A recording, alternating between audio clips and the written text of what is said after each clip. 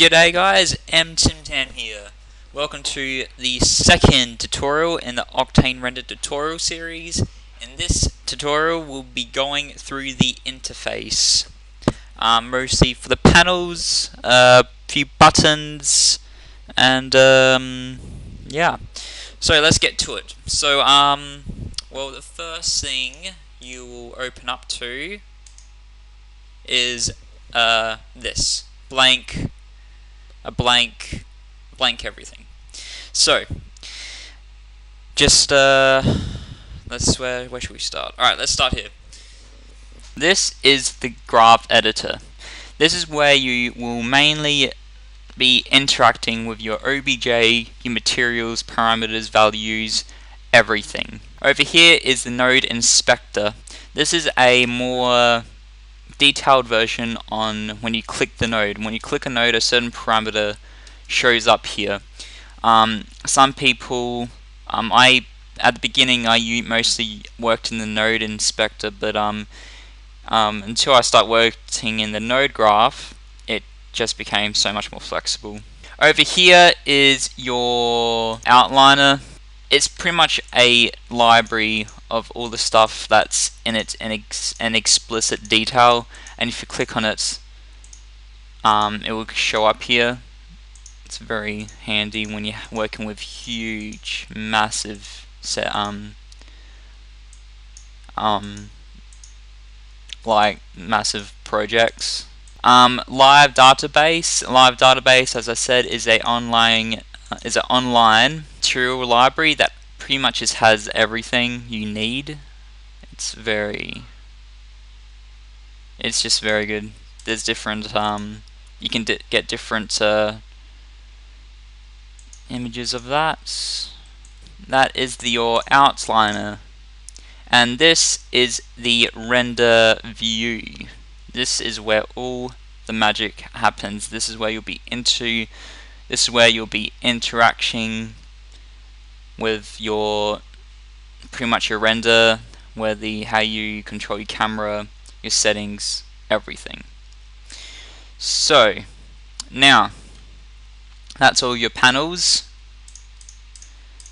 So your graph editor, node inspector, your outliner, and your render viewports and the default view. So now we're going to go through how you can save your interface the way you want it to. What do I mean by that? Well, in each panel you see this um, wrench thing. In this wrench thing you can um, move certain icons and place your toolbar how you want it to. So for instance, I can move this to the bottom, to the left, and to the right. I prefer it to be on the top. So once I press on the top, I press OK. That's good. It saves it. Um, same with here. Um, top, bottom, left, and right. Again, I like to put mine on the top. Press OK. Now, and the same with all of them. Now, with the icons, you can also change and place the icons. Now, for instance, um, I rarely use the uh, ruler, so I would put that here, I'll take it out. I rarely use uh, these few buttons here. Uh, yep, I really use those. Uh, rarely use that. Just place some, keep them placing amount, and I don't use these. And yeah. So, and I can also add stuff into it. So um, just say, alright, well, let's just say I want to put place this back in. All I have to do is drag it out, or I can move it to a certain area. So around here, if I can just get it like that. Yep. Um, what else? Move that back there. I can. It's very customizable. So that is a good add-on. So press OK and that's that and you can do it do the same here vice versa now once you've have your interface the way you want it you then go to File. Now remember, do not have your project loaded here because you're going to go to File, Save as Default. Now, if you have a project in here and you save it as default, every time you load Octane Render up, it will open to that scene, and you don't want that. So, um, that is your customization. Now, we are now going to go through your preferences. Now, your preferences is extremely important to um, know your Octane Live settings, your default defaults and controls, your CUDA devices, and your OBJ mesh import.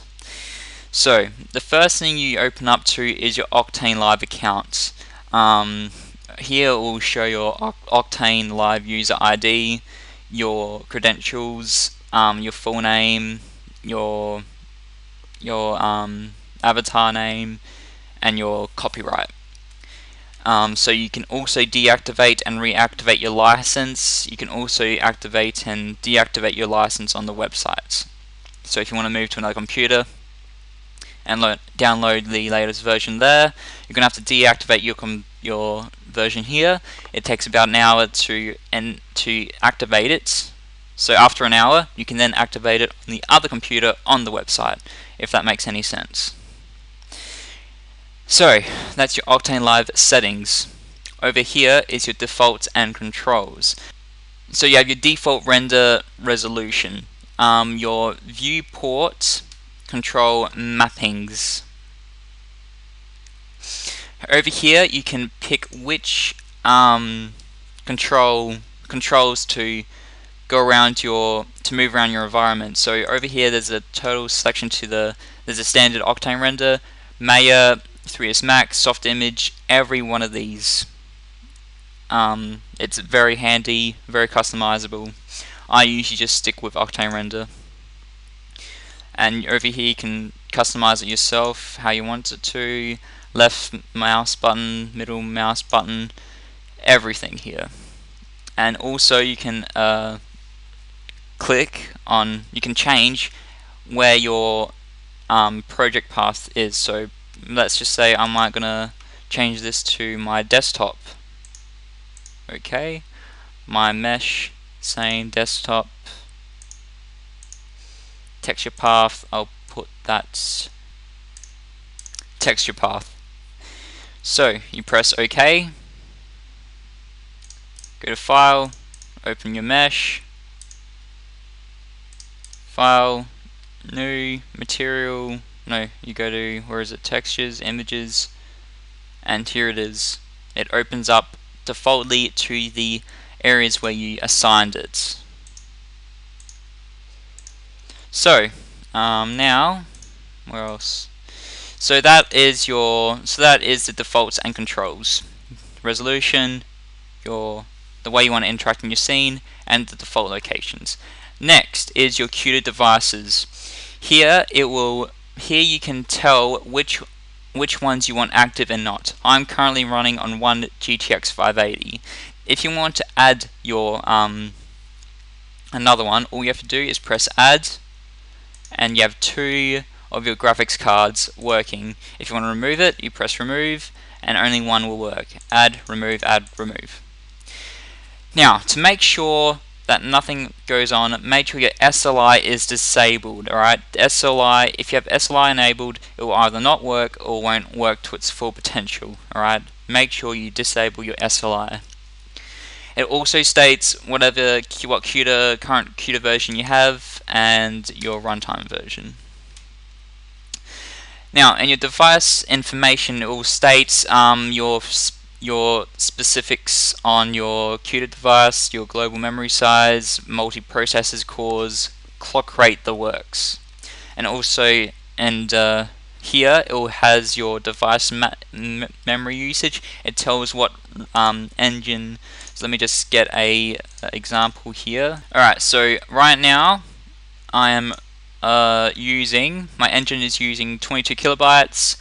The render target is about 9 megs. Geometry of my scene is about 17.5 megabytes and my nodes the nodes the is using 5 kilobytes and my image textures is using 68 megabytes. So that is how it works out.